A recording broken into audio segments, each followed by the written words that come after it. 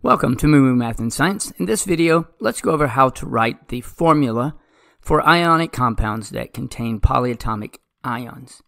There's two pieces of information that will be helpful. A periodic table and then also a list of polyatomic ions.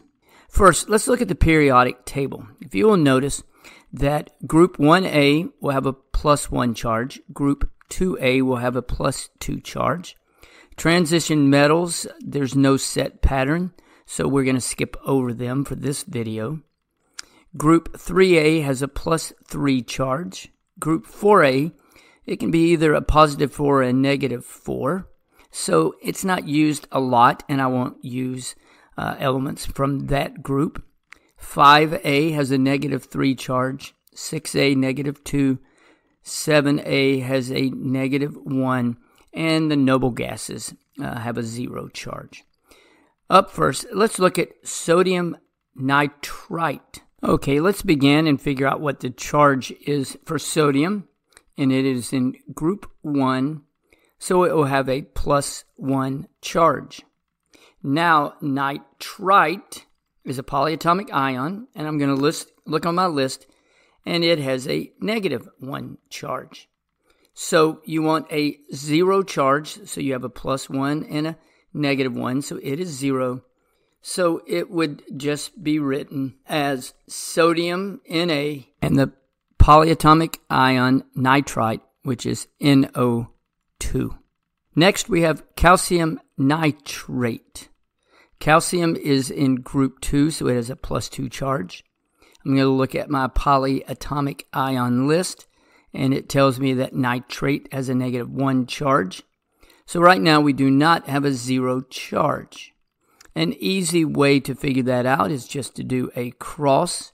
I'm going to take the 2 from the calcium and cross it, move it over to nitrate, and the negative 1 from nitrate with calcium. So if you notice, that gives you a zero charge because you have negative 2, excuse me, a positive 2 and a negative 2.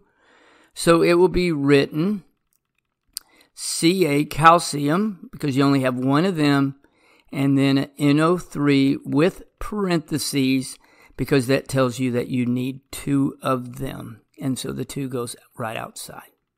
Let's take a look at aluminum sulfate.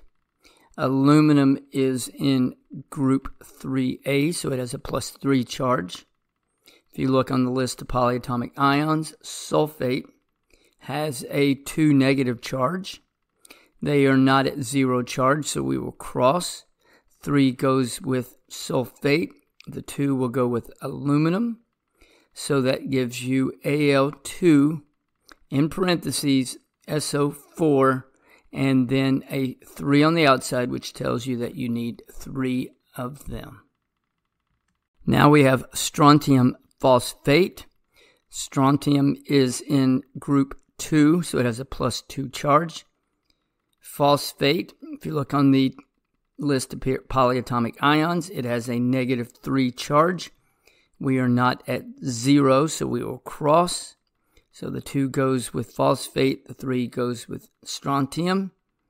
So now we will write it uh, SR3, telling you that you have three strontiums, and then phosphate, PO4, uh, and in parentheses, and it will be a 2 on the outside of that, telling you you have two of those.